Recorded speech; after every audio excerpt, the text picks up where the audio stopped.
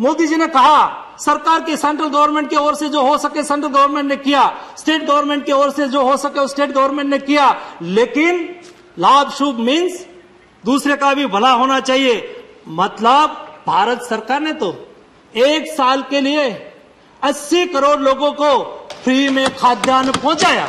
लेकिन उसके अलावा भी बड़ी कंपनी हो, उन्होंने चैरिटी चालू कर दिया।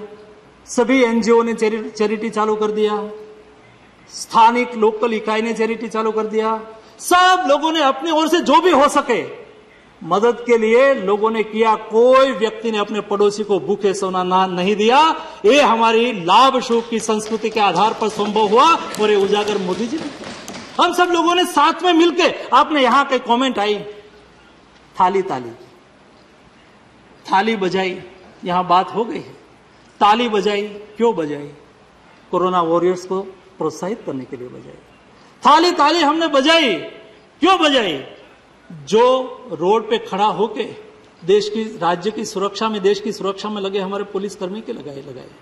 जो हॉस्पिटल में छोटा काम करने से लेके, मेडिकल, पैरामेडिकल स्टाफ से लेके, जिन लोगों ने एक कोरोना पेंडामिक में अपनी ड्यूटी अदा की, उसके सम्मान के लिए बताया मैं भारत सरकार के मंत्री हूँ, उसके पहले मैं एक बेटी का बाप हूँ और मेरी बेटी जब कोविड क्राइसिस में इंटर्न डॉक्टर के रूप में काम कर रही थी, वो कोविड वार्ड में काम कर रही थी। और उसके बाप के, उसके पिता के, और उसकी माता की क्या स्थिति होती है, मेरी बेटी वहाँ काम कर रही है, कोविड फैल रहा है, और मेरी बेटी ने मुझे कहा था कि, पापा, मैं कोविड वार्ड में ही काम करूँगी, और वो करती रही, लेकिन मेरा दिल में जो भाव होता था उस वक्त तब मुझे महसूस होता था कि तीन ताली का क्या महत्व है। हमारा हौसला बढ़ाते थे ताली। ये थाली का टंकार हमारा हौसला बढ़ाते थे। माननीय अध्यक्ष महोदय, और इसलिए थाली और ताली का महत्व था। और एक किया, तब जाके देश कोरोना क्राइसिस के सामने लड़ने के लिए सक्षम खड़ा हुआ, और हम उसको अच्छी तरह से लड़ सके। दूसरा जब यहाँ बात हुई, मृत्यु रिकॉर्ड क्यों छुपाते हैं मृत्यु? यहाँ आनंद शर्मा जी ने कहा, रजिस्ट्री है, नेशनल रजिस्ट्री है। और प्रधानमंत्री जी ने बार बार कहा, मुख्यमंत्रियों की मीटिंग में कहा कि हमारे हाथ में नहीं है मृत्यु हुआ हो। ज़्यादा हमें टेस्टिंग करना है, करिए। मृत्यु रजिस्टर करिए, छुपाने का कोई कारण ही नहीं है। बताना चाहिए, लेकिन आप किसके पर ब्लेम कर रहे हैं?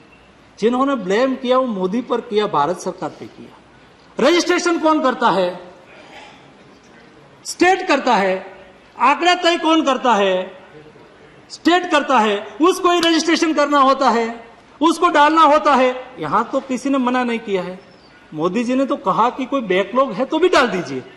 क्यों छुपाए? और छुपाने का कारण भी क्यों है? उसके लिए कोई कोई स्टेट से कम आंकड़ा आया तो कोई उसके लिए उसकी रिस्पॉन्सिबिलिटी फिक्स हो गई, ऐसा तो नहीं है। ये जिम्मा जिम्मेवारी का विषय है लेकिन भी मैंने देखा कि यहाँ कई सम्मानीय सदस्यों ने कहा कि भारत सरकार आंकड़ा छुपा रही है Now be the first to know about the latest updates on our new news app. Go on your Android or iOS, search for HW News Network.